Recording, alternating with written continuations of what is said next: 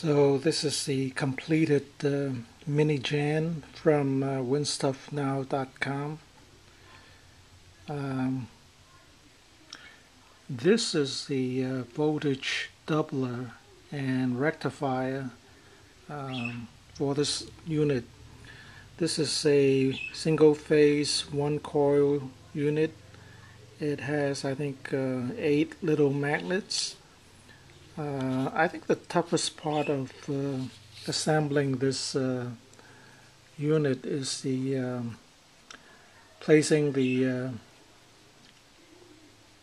the magnets on the disc because they're, kind of uh, difficult to uh, to arrange correctly. And um, if you have not worked with this type of magnets before they're very strong and they you really give your fingers a workout even though they're such tiny tiny uh, magnets.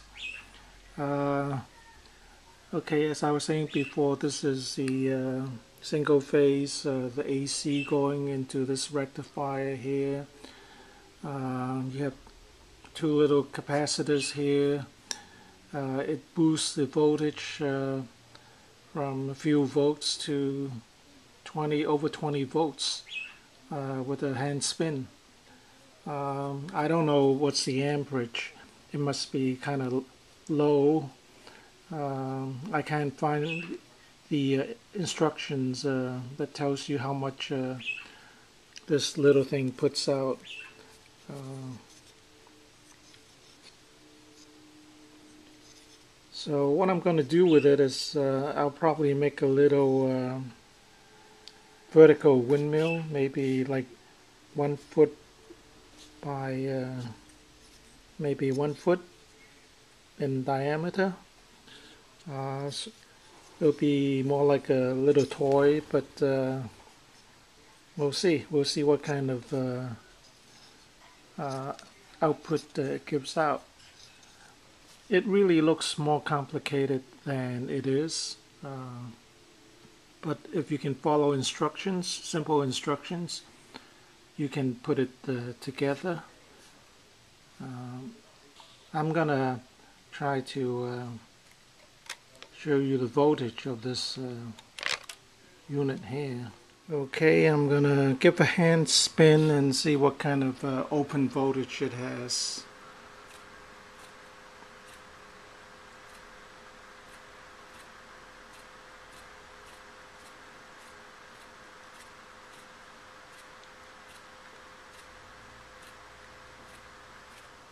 So I guess it goes up to a little over 20 volts with the um, voltage doubler. Uh, I guess the two capacitors acts as a little battery that stores voltage and uh, you can see the little magnets in between the rotor arm and the, uh, the plate here. So just one coil, single phase. You can make a uh, vertical windmill or you can do a horizontal one. So what I'm going to do is probably do a little uh, vertical one, maybe like a one and a half foot or one foot in diameter, about one foot or so in height. Um,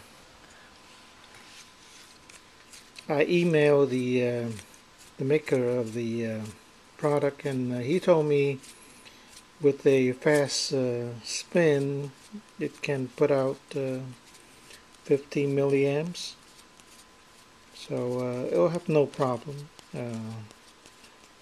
running LED lights or charging some small batteries.